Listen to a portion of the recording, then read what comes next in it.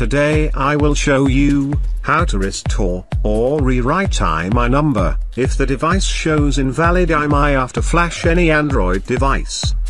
First you need to write First you need to write device IMEI number, on notepad for temporary, which you will get from device backside, under the battery on a sticker.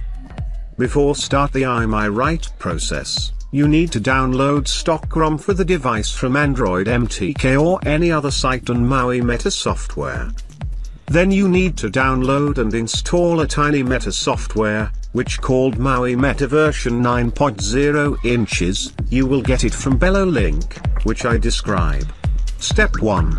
You have to switch off your device. Step 2.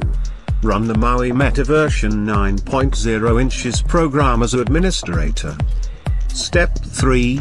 Press reconnect button from right side. Step 4. Now switch on the device, automatically will connect the device with the software. Step 5. Go to IMEI download from left drop down menu. Step 6. A dilute box will appear. Now select NVRAM file from firmware folder, which you download before. Step 7. Copy first and second IMEI number from notepad and paste on SIM1 box and SIM2 box. Step 8.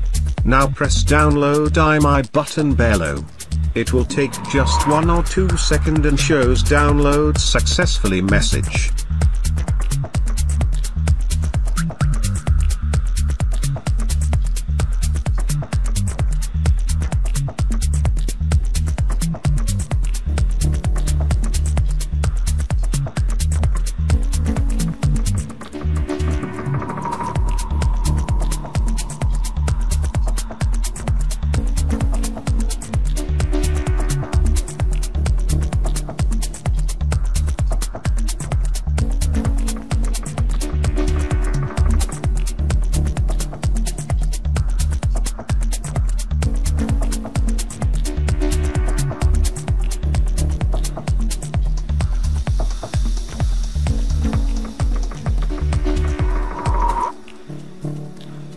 Great, you just completed the full process of rewrite IMEI num.